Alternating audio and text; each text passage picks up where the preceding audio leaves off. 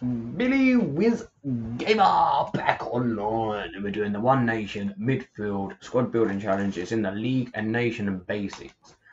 For completing it, we get ourselves a nice gold pack. I think we get a gold pack. I'm not 100% sure. I should have looked here before I started. But it requires no loyalty, no position changes, and costs between 4,000 to 4,500 at the moment. These prices should go down. But it requires three silver players, which is quite tricky because if everybody does the same team, then the silver players go right through the roof, and it ain't great for economy or economic value. But let's crack on, and I'll show you the players that I use. As it costs us about four thousand two hundred. You probably get a bit cheaper if you don't buy them now and actually bid on them. But do what you like, boys and girls. Do as you please. Don't hurt anyone. Right midfield is Nahuel Estevez, bought for 450, plays for Estudiantes in the Argentinian First League and is Argentinian. The central defensive midfielder on the right is Adrian Arregui.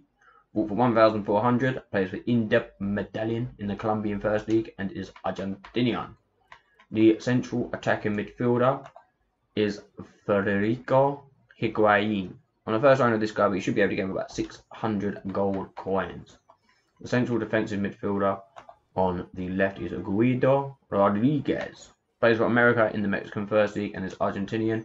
You should be able to get him for about 900 coins, or maybe the other guy's 900 and he's 600. I don't know.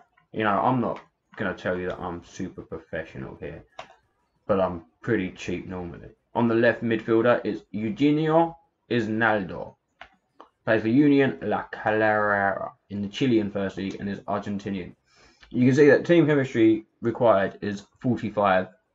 We have currently got 48 because we've got three shields lit up this guy, the, the two gold guys and the guy on the left, basically, got their shields up. So minus the three loyalty points, and we got 45 chemistry, what we required. So you guys should be absolutely hunky dory to submit that and then get what we need. It's quite tricky that one because you do actually have to have. I thought it was going to say when it said minimum three, I thought it could have been um like three golds or three anything above silver, but it has to actually be three uh, silver ones. It looks like you have some items to deal with. Send them on, mate. I kept buying the same guy, looking, thinking, why the hell is he not on my team? And it's clearly because he's a duplicate, and I end up buying him so many times, and then not even using that team. Smart. Premium gold pack. Here we come. I'm ready for anything, mate. Come on. Come on. Oh, Dubrav, Dubravka.